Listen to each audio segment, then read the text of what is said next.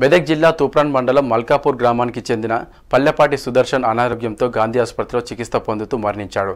మృతుడు రైతు బీమా కలిగి ఉండటంతో మండల వ్యవసాయాధికారి నుస్రంత్ కుటుంబ సభ్యులను పరామర్శించి త్వరలో ఐదు లక్షల ఆర్థిక సహాయాన్ని అందించనున్నట్టు తెలిపారు.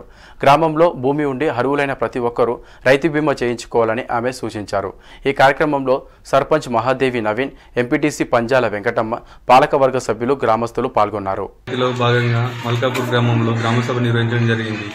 డే బై డే మొదటగా డే బై డే ఏం పనులు చేయాలో చదివించడం జరిగింది. తర్వాత గ్రామ ప్రజల సమక్షంలో పల్లె ప్రగతి ప్రోగ్రాం రేపటి నుండి ఏం చేద్దామన్నది చర్చించుకోవడం జరిగింది. అధికారి తూఫాన్ మండలము.